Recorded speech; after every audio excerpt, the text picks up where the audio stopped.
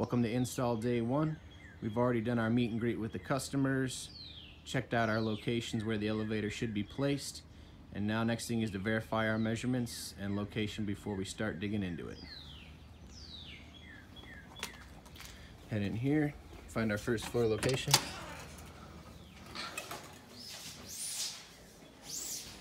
And here we have our trusty installer, Kenny. Basically measuring floor to ceiling to verify what we've been given as installers and what the factory's been sent for their measurements for the elevator. So, Kenny, what do you have there? Yeah, 95 and a half. Okay, now is that to the crown molding or to the, That's to the the ceiling. That's actual to the ceiling. Okay, so that's So, so we're a total eight foot of framing. okay, perfect. I'll run upstairs real quick. Check the upstairs measurements. And up here we've got Mr. Rusty making his measurements and what do we got up here from our our floor to our ceiling? 95 and a half. Okay, 95 and a half. All right, we'll use that later to cross check. Um, so the other thing we want to do is we want to find a common reference wall, which we have this exterior wall here. And we're going to pull and verify our width dimensions so we can get our layout matched up on both floors. Got uh, 11 feet, nine and a half inches. Okay, so from that exterior wall over here, here's our measurements, right about 140 and a half. Okay, so now we'll go back downstairs. We'll cross check that with Kenny. Okay, Kenny, so we've had 140 and a half to Okay. the inside of the drywall upstairs. So we're measuring off that same common wall here, the exterior front wall.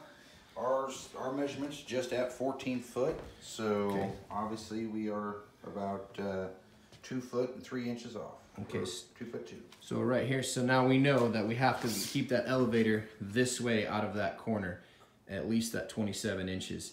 Um, probably a little bit more for space between the wall, but that's uh, the basic process we want to go through to verify our measurements. Thank you, Kenny. Okay, so we've got our area prepped downstairs, everything walled off, plastic up, floor covering down, except for a little piece right there on the hardwood we gotta get, but everything else it's been covered.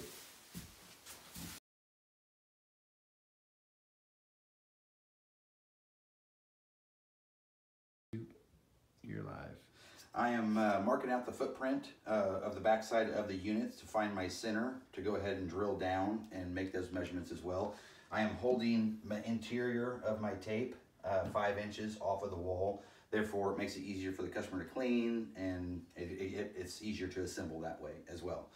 Um, so as of right now, I'm just, uh, I found my center point of where I'm going to, uh, uh, where my elevator is going to land. So I'm just measuring off five inches. And the reason I'm coming off five inches is just because I have crown molding down there and I just want to make sure I'm as close as I can. Um, then once I cut the open the drywall downstairs, um, I'll be able to determine exactly 100% my center. So, but this will give us 99% where we're going.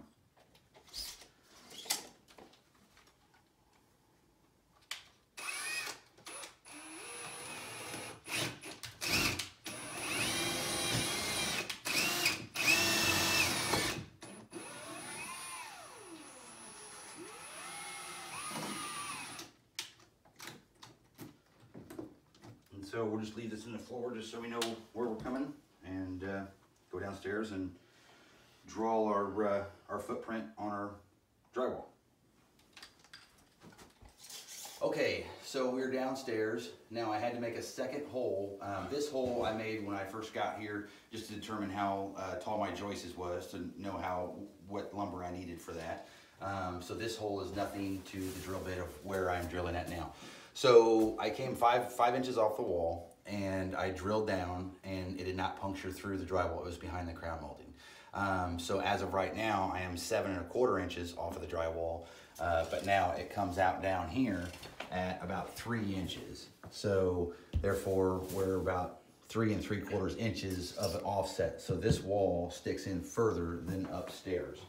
So we're gonna have to, um, once we're, we're gonna have to build, extend the wall upstairs three and a half inches. To make it plan out down here. Yes, uh, just so, uh, the, the, uh, the second floor and the first floor are parallel to each other and, uh, we have a smooth wall to set our rail on.